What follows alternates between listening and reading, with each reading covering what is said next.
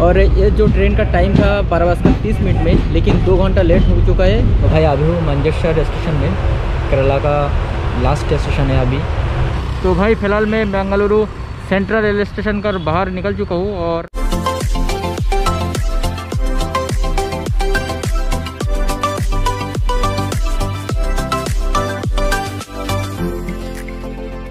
बीस किलोमीटर दूर वारे के बीच है। जहाँ पर भास्को दा गामा लैंड किया था। उसका नाम है क्या कापड़, ऐसा कुछ नाम है? बीच में एकदम मेला जैसा लगा हुआ है।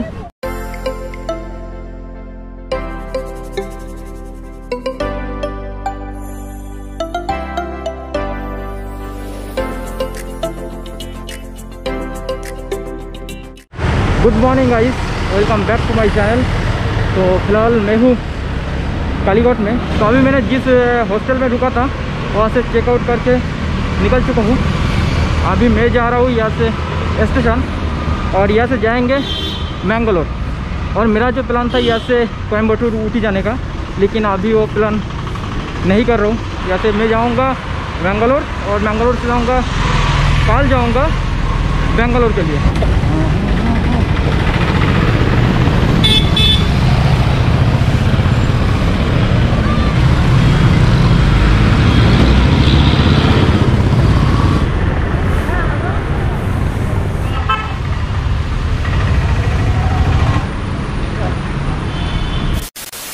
भाई, मैंने फाइनली ट्रेन पकड़ लिया और अभी टाइम हो रहा है दो बजकर बीस मिनट, बारह बजकर बीस मिनट में था।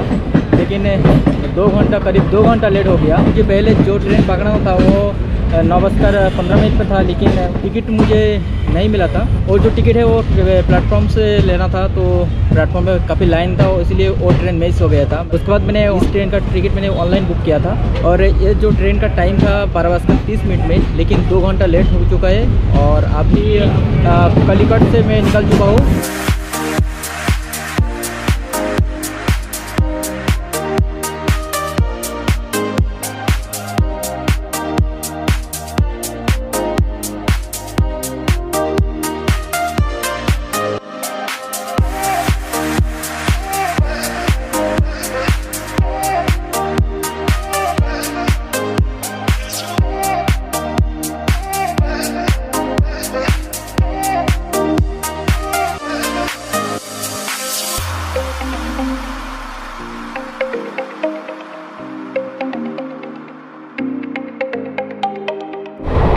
अभी मैंने कुंबला स्टेशन क्रॉस करके आया हूँ। कुंबला स्टेशन जो है वो नॉर्थ केरला में है। दोपहर दो बज का बीस मिनट में ट्रेन छूटा था कालीकोट से।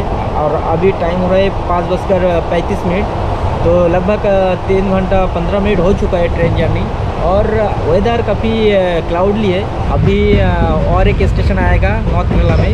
उसके बाद कर्नाटका में एंट्री करूँगा। अभी जो स्टेशन आने वाला है, मंजेश्वर, जो होगा केरला का लास्ट स्टेशन नॉर्थ केरला में। और उसके बाद ट्रेन जाएगा डायरेक्ट मैंगलुरु में। तो मैंगलुरु जो है, वो एक कोस्टल सिटी है, कर्नाटका का। काफ़ी फ़ेमस सिटी है तो वहाँ पर जाएँगे। वहाँ आज रुकेंगे और कल मैंगलुरु से मेरा ट्रेन है बेंगलोर के लिए। और ये जो रूट से मैं आ रहा हूँ पलीगढ़ से बेंगलोर तक, काफ़ी छोटा सा रिवर मुझे देखने को मिला और ग्रीनरी बहुत है और आपको जो नारियल का पेड़ बहुत ज़्यादा देखने को मिलेगा। तो काफ़ी अच्छा लग रहा है, ट्रेन जारी कर रहा हूँ बाहर का नज़ारा देख रहा हूँ तो काफ़ी अच्छा लग रहा है। तो ये था एक्सपीरियंस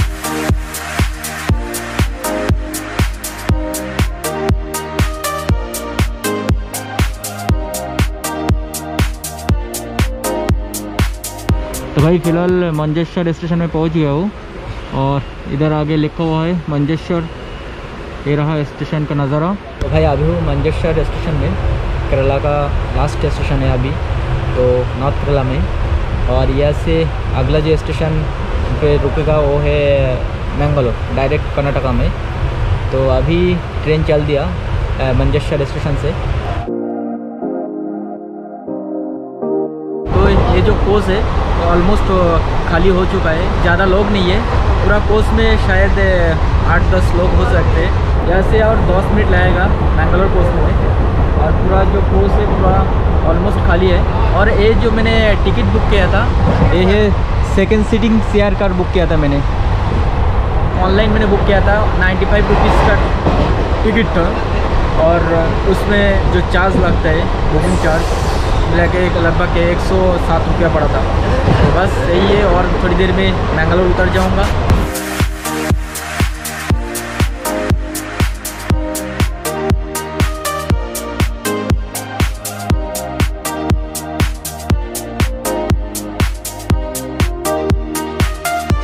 तो भाई ऑलमोस्ट मैंगलोर सेंटर पहुँच गया हूँ। अभी और एक दो मिनट में पहुँच जाऊँगा। पूरा कोच जो है, ये खाली है। मुझे लगा था बहुत लेट हो जाएँगे लेकिन उतना लेट नहीं हुआ। सिर्फ़ पंद्रह मिनट लेट था।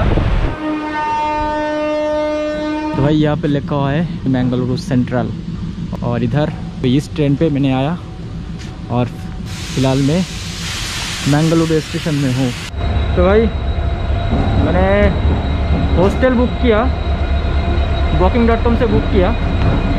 तीन सौ रुपया पर नाइट तो काफ़ी महँगा है। तो देखते स्टेशन को बाहर जाके अगर कुछ सस्ते में मिल जाए तो डायरेक्ट बुक कर लूँगा। और क्या तो फिर वही तीन सौ रुपया में रहना पड़ेगा। ऐसे कालीकोट में मुझे मिला था सस्ता में। एक नंबर। क्या? क्या जी? बाहर बाहर। दिस साइड ओके तो भाई फ़िलहाल मैं बेंगलुरु सेंट्रल रेलवे स्टेशन कर बाहर निकल चुका हूँ और आगे मेरा देख सकते हैं, यहाँ पे लिखा हुआ है बेंगलुरु सेंट्रल। इधर आगे ये नज़रा है। तो तो यहाँ से मैं जाऊँगा हॉस्टल। तो हॉस्टल दिखा रहे वन पॉइंट नाइन किलोमीटर। लगभग ट्वेंटी फाइव मिनट्स लाएगा यहाँ से। तो चलते उधर। तो भाई फाइनली मैं पहुँच गया हूँ हॉस्टल में और फ़िलहाल मैं हॉस्टल के अंदर हूँ। तो मुझे स्टेशन से यहाँ तक पहुँचने में तीस मिनट से भी ज़्यादा लगा। क्योंकि ये एक माउंटेन एरिया है रोड में कभी ऊपर चढ़ना पड़ता है, कभी नीचे चलना पड़ता है। तो इसके लिए थोड़ा ज़्यादा टाइम लगता है। फ़िलहाल देख सकते हैं यहाँ पर, इधर तीन बेड लगा हुआ है, एक टेबल है। इधर लॉकर है, लेकिन लॉकर बहुत छोटा है। मेरा काम में नहीं आ रहा है, मेरा बैग बड़ा है, इससे नहीं जा रहा है। तो बस यही था। इधर एक बेसिंग है और इधर टॉयलेट है। ये मुझे पड़ा 300 पर नाइट लेकिन बहुत ज़्यादा है मेरे लिए। मैंने दूसरा ऑप्शन मैंने ढूंढा था, लेकिन मिला नहीं। अगर कम में मिल जाता तो ये कैंसिल कर देता, लेकिन मिला नहीं तो फाइनली यही लेना पड़ा। तो क्या कर सकते तो एक ही दिन रुकेंगे, कल यहाँ से निकल जाएँगे। सुबह देखते कोई अगर घूमने के लिए है तो आसपास में जाएँगे घूमने। और यहाँ से मैं जाऊँगा, यहाँ से बेंगलोर बेंगलोर का ट्रेन जो है वो रात का आठ बजे कल। तो देखते क्या होता है। तो बस कैसे इस वीडियो में इतना ही है। अगर आपको वीडियो पसंद आया तो लाइक कर देना। चैनल में ना है तो सब्सक्राइब कर लेना। फिर मिलते हैं आप लोगों के साथ नेक्स्ट वीडियो में। तब तक के लिए stay happy stay safe keep travelling and keep enjoying your life bye